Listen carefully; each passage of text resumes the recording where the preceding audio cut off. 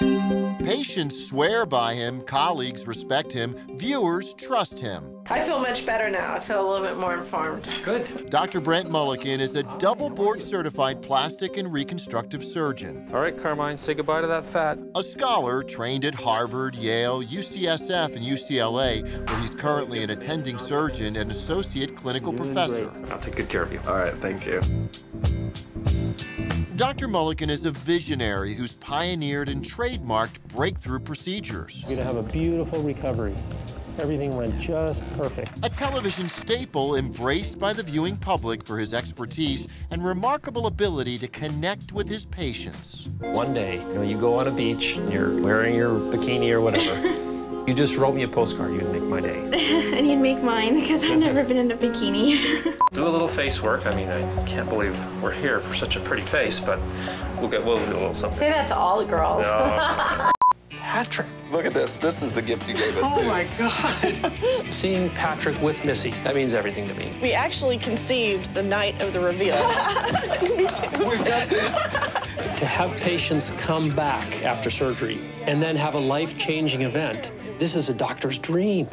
Patients flock to Dr. Moelleken's offices in California for his revolutionary signature procedures, including live fill, We take the tissue from the patient and then we put it in areas that need filling, like the smile lines or the, the puppet lines or the lips. And it lasts longer.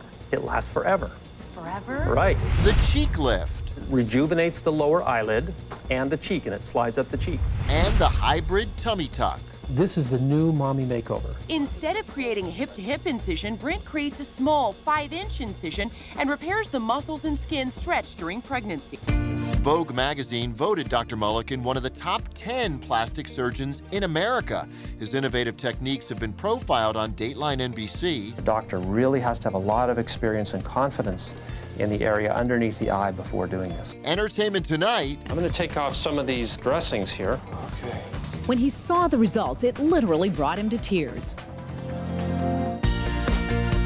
and Extra, the show that named Dr. Moelleken one of America's best life changers. The cancer really did something to my skin and accelerated the aging process. That's where extra life changer plastic and reconstructive surgeon Dr. Brent Moelleken comes in with the 360 facelift. And in just four weeks, You going dancing? You bet. Dr. Moelleken has also been the featured doctor on shows like ABC's Extreme Makeover.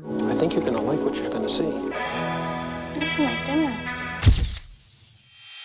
Discovery Health's plastic surgery before and after, How would you like your breast changed?